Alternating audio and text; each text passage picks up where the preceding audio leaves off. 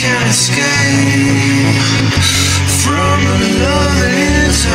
You can't escape from the blood in his veins.